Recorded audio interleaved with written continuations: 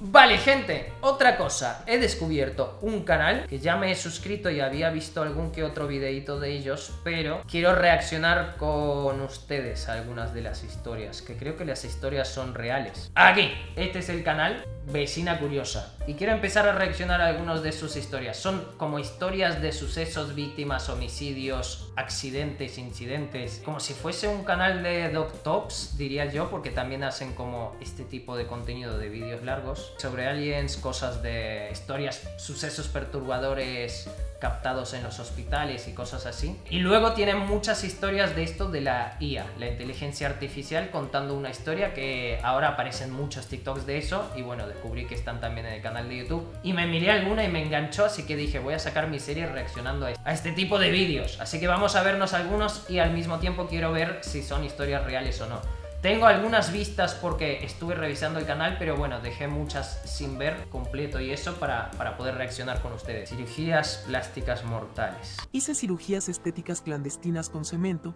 aceite mineral, silicona, hasta pegamento y me atraparon. Soy Van Moes. Da miedo, ¿eh? Da miedo la inteligencia artificial así la que se aventaba a hacer cirugías estéticas, sin tener ni idea de medicina. ¡Ah, qué bien! ¿Hay alguien que quiera hacerse una cirugía plástica o algo con, esta, con esta señorita? señorito, señorite. Empecé allá por el 2007, en Florida, y me aventaba a inyectar de todo, cemento, aceite... Amigo, te vas a hacer los labios y te inyectan cemento, imagínate. Mineral, silicona, hasta pegamento. Qué miedo. A ver, yo nunca me haría una cirugía... Bueno, cirugía plástica, a ver, yo nunca me, me, aumentaría cosas. En realidad, por ejemplo, la nariz me la he retocado. No, no he hecho gran cambio, o sea, sigo teniendo mis agujeros de que puedo aspirar el mundo entero. Pero sí que me había hecho un retoque del huesito de aquí. Primero porque he hecho kickboxing mucho, bueno, muchos años. He competido en kickboxing unos dos años y de alguna patada que recibí, pues obviamente me hizo mierda el tabique. Y también porque tenía como un poquito así como tabique de bruja y me lo he alejado, pero era solo esto, retoque. Pero ya así como inyectarme cosas, no sé si me animaría. Soy sellador de llantas. Suena heavy, pero a las morras les valía, solo querían verse más sexys. Y yo les cobraba barato, una feria que a veces me sacaba con eso. Me las daba de médica en hoteles, casas o apartamentos, bien clandestino, pero sacando dinero fácil. No, amigo, qué miedo. ¿Y esto es real? Ahora, dura una, un minuto 42. Ahora miramos si es real la historia. De hecho, hice una fórmula especial a base de cemento gracias a que una de mis clientas me dijo que quería tener unos glúteos más firmes. Yo le dije que por 700 dólares lo hacía. La cosa es que a mí me valía todo, hasta que la policía me empezó a buscar en el 2010. Rajé en Arinesim, me denunció por hacerle mi trabajo en la cara y la pobre quedó todo no, amigo. Imagínate, te haces una cirugía plástica y te dejan así. Otra, de Brown me echó la bronca por sus glúteos inflados. Juro que no quería hacerles daño, pero ellas me buscaron, ¿no? Me declaré culpable de práctica ilegal en el 2013 y me echaron un año a la cárcel. Luego, un año a la cárcel por meterle a la gente en el cuerpo cemento y millón de cosas. Solo un año. Me parece muy poco. Si esto es real, me parece muy poco. O sea, hacer cirugía estética sin tener licencia, sin tener idea de lo que estás haciendo y encima metiéndoles pegamento con cemento en el cuerpo. O sea, lo tóxico y mortal que debe ser eso. Luego, en el 2017, me sentenciaron a 10 años por homicidio involuntario por la muerte de Shefar Kennedy Ahí va, o sea que una clienta falleció. Así que esa es mi historia. Yo hice lo que hice porque me buscaban, y si quieren seguir buscándome, aquí estaré. ¿Tú quieres que te opere cuando salga de la cárcel? No, no, gracias. No, no quiero que me opere cuando salga de la cárcel. What the fuck? O'Neill Ron Morris. Sí que es real. Ah, amigo, o sea que a sí mismo, a sí misma también se echaba cemento y de todo. O sea que sí, que sí que son historias reales. Vale, ah, yo quiero verificar algunas. Las que nos parezcan así más what the fuck las verificamos. Seguimos. Quiero ver unos cuantos. Está bueno, algunas historias creo que son... Luego de casi ser decapitada. Tuve que Ah, empezamos fuerte. Tuve que sostener mi propia cabeza luego de casi ser decapitada. Soy Alison Boutry y quiero compartir una... Eso iba a decir, ¿no había una película? Alison, bueno, Boza, tampoco sé muy bien, pero Recuerdo haber visto que había una película de, de un caso así, que sobrevivió a algo imposible. Quiero compartir una historia que cambió mi vida para siempre. Soy de Sudáfrica y a mis 27 años yo trabajaba como corredora de seguros. Un día, mientras iba en mi carro, dos hombres me obligaron a subir con ellos. Me llevaron a un lugar apartado, me violaron y me apuñalaron 30 veces en el abdomen, luego me apuñaron varias veces el cuello y lo cortaron casi por completo dejando mi cabeza prácticamente colgando. Amigo, esto es muy fuerte. Ellos se fueron pensando que así ya terminaría de ¿Por qué existe gente así? morir. No sé cómo logré quedar viva después de eso, pero luché y con todas mis fuerzas escribí el nombre de ambos agresores en la arena para que sepan quién fue en caso de no sobrevivir, luego de alguna O sea, ya la voluntad esa de, de escribir sus nombres en caso de no sobrevivir. En el momento ese que se te cruce por la mente, es prácticamente como luchar por otras vidas, ¿no? Porque por lo menos si se llevan su vida, o sea, gracias a su nota en, en arena, va a salvar muchas vidas que podrían seguir como haciéndole eso a más mujeres, hombres, lo que venga. forma logré llegar a la calle arrastrándome en busca de ayuda. Mientras más me arrastraba podía sentir como mi cabeza se iba hacia atrás, por lo cual tenía que irla sosteniendo mientras también sostenía mis tripas para que no se salieran por completo. Mientras luchaba hacia adelante, mi vista se atenuó y se desvaneció y me caí muchas veces, pero logré levantarme nuevamente hasta que Ah, finalmente llegué a la ruta. Un estudiante de veterinaria me encontró y me ayudó antes de que llegara la ambulancia. Ha sobrevivido demasiado tiempo. Hay muchísima gente que por una puñalada, por perder demasiado sangre, no sobrevive. O sea, literalmente esta mujer tuvo un ángel con ella. Atraparon a mis atacantes y fueron condenados a cadena perpetua. Aún recuerdo sus nombres Toit y Kruger. Ellos decían ser satanistas y que formé parte de uno de sus rituales. ¿Por qué nacen humanos con tanta maldad?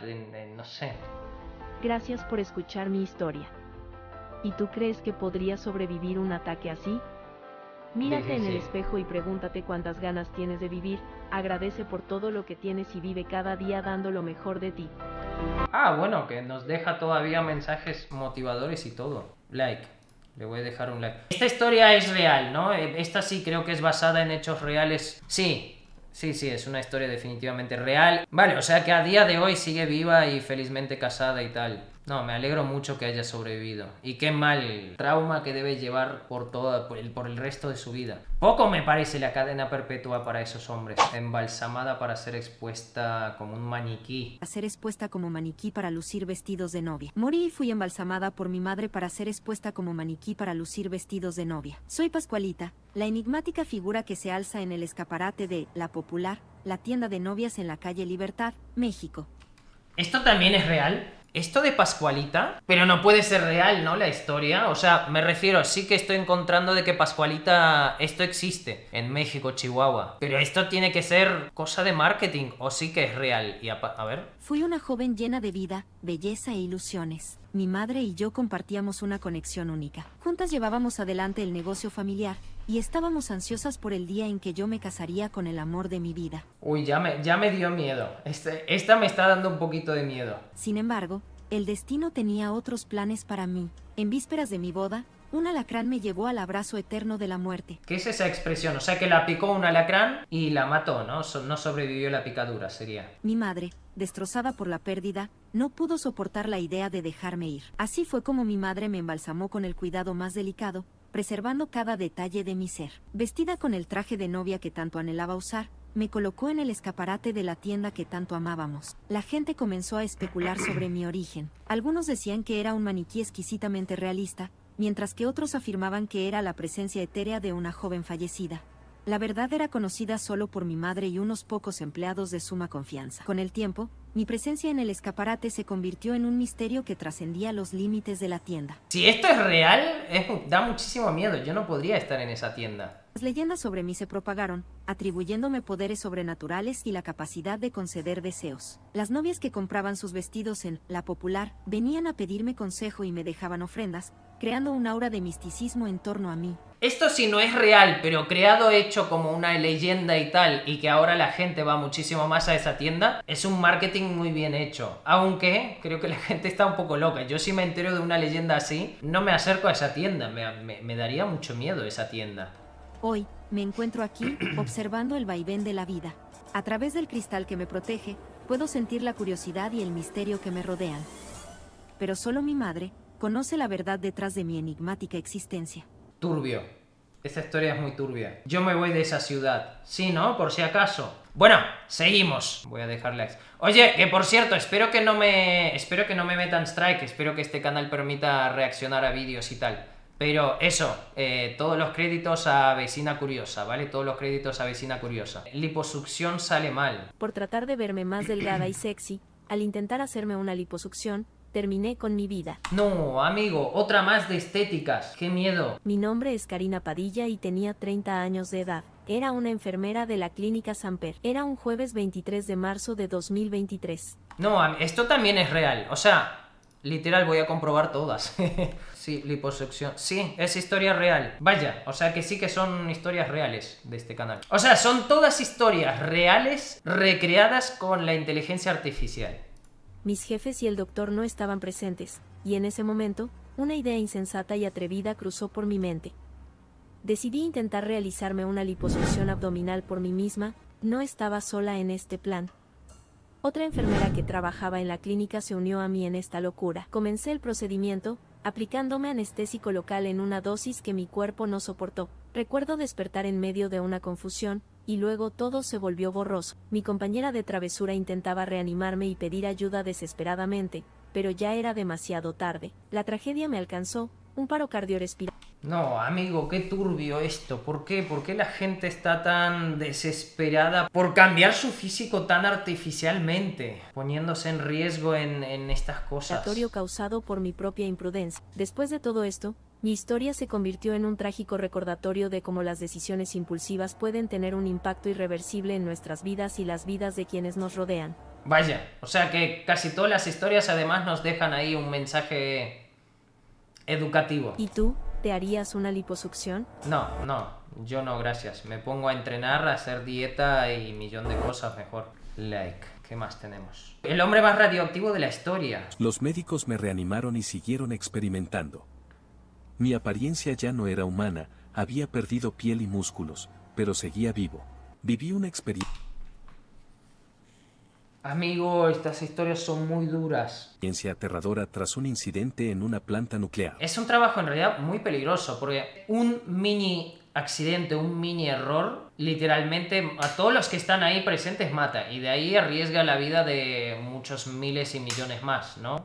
Me llamo Isasi Planta nuclear. Yoshi quiero contar lo que pasó para que lo comprendas mejor. Todo comenzó en 30 de septiembre de 1999, cuando trabajaba como técnico nuclear en Tokaimura, Japón. Estaba Japón, o sea que hubo más incidentes así en Japón. Estábamos fabricando combustible para un reactor nuclear y me equivoqué al poner uranio en un contenedor incorrecto con ácido nítrico. Sin protección, en segundos recibí una dosis de radiación miles de veces más alta de lo que el cuerpo humano puede aguantar en un año. Fue como la radiación en el epicentro de la bomba atómica de Hiroshima. Me convertí en la persona más expuesta a radiación en la historia. Es que claro, un pequeño error es mortal, Sin es muy protección, peligroso. en segundos Le tengo mucho respeto. Es que tienes que ser muy valiente para trabajar en una planta nuclear, creo yo. Tuvieron que evacuar a 300.000 personas de los alrededores. Me llevaron al hospital universitario de Tokio. Mi situación empeoraba día a día. Mis glóbulos blancos disminuyeron, mi ADN cambió y mis células no se regeneraban bien. Respirar se volvió difícil y mi piel estaba quemada. Luego comencé a perder trozos de piel. Aunque recibí transfusiones de sangre e injertos de piel, estos no se pegaban porque mi ADN no podía regenerarse. Ay, amigo, me está haciendo un poquito como uh al cuerpo. A pesar de Es que además la IA está muy bien hecha. Es como que ves que es una IA, ves que es una caricatura, no es real. Pero está como muy bien hecha, como que parece que te lo está contando su historia a él, ¿sabes? Te atrapa. No sé, me, me gusta eso que te atrape, pero da miedito, da como eh, un poco días. turbio Los todo. médicos me sumieron en un coma inducido para mantenerme vivo. No, pero eso ¿por qué? ¿Por qué hacer experimentos, pobrecito? O sea, ya estando en ese estado, ¿por por qué no le ayudan a irse y no sufrir más? En el día 59, tuve tres paros cardíacos en menos de una hora. Los médicos me reanimaron y siguieron experimentando. Mi apariencia ya no era humana, había perdido piel y músculos, pero seguía vivo. Finalmente, Después de 83 días, mi cuerpo falló y mi sufrimiento terminó. 83 días. Fui la primera víctima mortal en la industria nuclear japonesa. El director de la planta y otros cinco funcionarios recibieron condenas de tres años de prisión por no seguir protocolos de seguridad. Te recomiendo que no busques imágenes mías. Ah, no. Los médicos me reanimaron y Imagino que una persona promedio aquí es donde va directamente a buscar las imágenes, ¿no? Yo, yo no, yo no, no iré a buscarlos sin las imágenes. No, no, me muero. Le voy a dar like porque me, me atrapó muchísimo esta historia. Dos disparos en la cabeza a su esposa. Creo que sigue viva. 911, ¿cuál es su emergencia? Le disparé a mi esposa en la cabeza hace dos días a las 4 de la mañana y la metí en el congelador en el garaje. La revisé esta noche y no está muerta. No, amigo. Dos tiros en la cabeza 48 horas más tarde. Está viva. Tiene un gran agujero en la sien y su muñeca parece estar rota. Ha estado en el congelador durante 48 horas. Necesito que alguien vaya allí y la ayude. He despejado la propiedad y escapé, pero esta es una llamada legítima. Todavía la amo. La he amado todos los días que hemos estado casados. Solo hemos tenido un mal momento aquí y necesita paramédicos. No, amigo, tuvieron un mal momento y le disparaste dos veces en la cabeza. Por favor, consigan ayuda para ella. Cuando llegaron a la casa descubrieron mi cuerpo en el congelador. Los forenses determinaron que había fallecido poco después del disparo. Joseph había escapado en su camioneta y se había convertido en objeto de búsqueda por varias agencias policiales. Tras alrededor de 13 horas finalmente lo localizaron en un motel en Kentucky. Sin embargo, antes de que la policía pudiera arrestarlo, Joseph se disparó en la cabeza. Es perturbador saber que él creía que mi cuerpo sin vida parpadeaba y que eso era una forma de comunicarse con él. Disparó y tal, pero habrá estado traumado, arrepentido, lo que sea, y ya se imaginaba cualquier cosa. Seguimos, seguimos, gente. Asesiné a siete bebés en una unidad neon... Esta es la de las noticias de estos días, ¿no? Asesiné a siete bebés en una unidad neonatal en Inglaterra. Fatal, ¿eh? Hola, mi nombre es Lucy Letby y me convertí en la asesina en serie de niños más prolífica del Reino Unido. Recuerdo aquellos días en el hospital como si fueran un sueño lúgubre del que no podía escapar. Las noches en la unidad neonatal eran largas y silenciosas, solo interrumpidas por el llanto de los bebés. Al principio, mi intención era brindarles el mejor cuidado posible, pero algo cambió en mí. Empecé a sentir una extraña necesidad de control, como si mi influencia sobre sus vidas fuera lo único que podía darle sentido a la mía. Horrible, amigo. Fue una decisión que tomé lentamente. La primera vez que inyecté aire en un pequeño cuerpo, sentí un escalofrío recorrerme, pero también una extraña euforia. Las inyecciones de insulina y la alimentación forzada se convirtieron en un juego siniestro en mi mente distorsionada. No, amigo, returbio. Mi habilidad para ocultar mis acciones de mis compañeros me llenó de una sensación de poder. Jugaba con sus mentes, manipulaba la realidad para que encajara con mis actos despiadados. Me me da hasta un poco de rabia. Es como, ¿cómo no la descubren? Ah, ¿Cómo un hospital neonatal no tiene, no tiene cámaras? El juicio fue un torbellino de emociones. Las pruebas eran irrefutables. Mis propias palabras escritas me delataban. Entré en juicio el 10 de octubre de 2022 y hoy solo me queda esperar a saber cuál será mi sentencia final. Solo espero salir de la cárcel en pocos meses para seguir con mi misión. Así Vale, se- no, pero esta, esta sí, creo que es de la semana pasada que salió en las noticias que le dieron cadena perpetua al final. Que en Inglaterra no suelen dar cadena perpetua, pero a ella sí. Así que no, no, no va a salir del hospital o de la cárcel a seguir con su misión. Pero, buah, qué perturbador eso. El grano en la cara puede costarte la vida. Morí tras explotarme un grano que tenía en la cara. Me llamo Jennifer. Soy la chica de 16 años que murió hace unos días tras ser ingresada en un hospital después de explotarme un grano. Permíteme compartirte mi historia. Nuevo miedo desbloqueado, gente. Yo que me la paso explotando granos en la cara todo el día. Hace algunos días, noté que me iba a salir un grano en la cara. Me causó bastante molestia durante varios días hasta que salió un enorme grano que terminé explotando antes de dormir, sin saber que eso sellaría mi destino. Qué miedo. Mientras me dormía, sentía un leve picor en toda la cara que no di mucha importancia, además estaba muy cansada. Cuando desperté al día siguiente, me di cuenta de que no podía abrir mis ojos ni mi boca. Me dirigí al espejo para intentar entender qué estaba ocurriendo. La imagen que vi en el reflejo me resultó irreconocible. Mis padres, al verme, No, amigo, te la regalo. se asustaron y se llenaron de horror. Sin demora, me llevaron al hospital. No mames, me has dado escalofrío. Imagínate despertar así como mirarte al espejo y tienes una cara ahí. Una vez en el hospital, Me sometieron a una serie de exámenes y pruebas. Los resultados revelaron que estaba sufriendo una infección generalizada provocada por la bacteria Staphylococcus ¿Qué? ¿Qué? aureus. Bacteria Staphylococcus aureus. Stalocacasaurus es un dinosaurio de caca o algo así, la bacteria dinosaurio de, ca- de caca. No, no, pero no mames. es que suena muy gracioso. La infección ya se había propagado por todo mi cuerpo. Los médicos hicieron todo lo posible por salvarme, pero lamentablemente no pude resistirlo y fallecí horas después de mi llegada a urgencias. Esta bacteria es una de las más peligrosas que existen. Ay, amigo, 16 años por explotarte un grano. Reside en la piel de todos los seres humanos y suele ingresar a nuestro organismo a través de heridas o arañazos, a menudo causados por granos o al afeitarse. Por tanto, es esencial tener precaución al reventar granos o al afeitarse. ¿Y tú, recuerdas cuándo fue la última vez que te quitaste un grano en la cara? Ayer. no, amigo. Miedo desbloqueado. A tener más cuidado con, con los granitos. Eh, like. Like porque hemos aprendido una nueva cosa de, de los eh, cocosaurios. Un teléfono explota cargando mientras, mientras dormía. Morí al explotarme el móvil mientras dormía porque lo tenía bajo mi almohada. Me llamo Aluacet Kisiapsalbek y tenía 14 Vale, pero esta historia también es real, ¿no? Sí, sí, es una historia real, amigo. Otro miedo desbloqueado, el móvil. Una noche, decidí que era hora de relajarme. Siempre me gustó escuchar música antes de dormir, así que puse mis audífonos y conecté mi teléfono para cargarlo durante la noche. Mi teléfono descansaba bajo la almohada, cargándose lentamente. No, bueno, pero esto es una tontería. Yo siempre la riño a Tami ni siquiera cargarse. O sea, yo la riño que, que se duerma con móvil cerca, ¿sabes? pero estaba demasiado dormida para notarlo.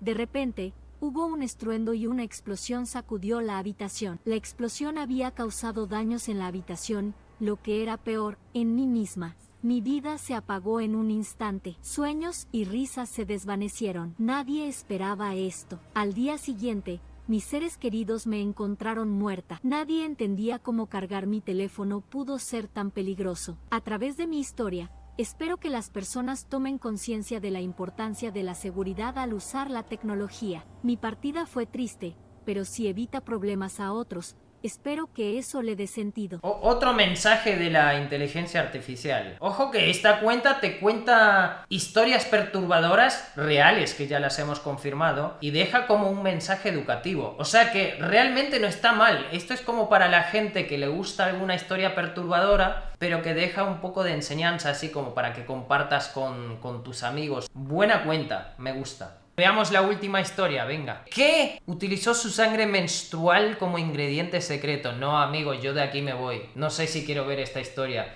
Yo soy muy perseguido, muy exagerado con comer fuera. Siempre me da miedo que escupan la comida o algo. Usé mi sangre menstrual como ingrediente secreto en mi panadería.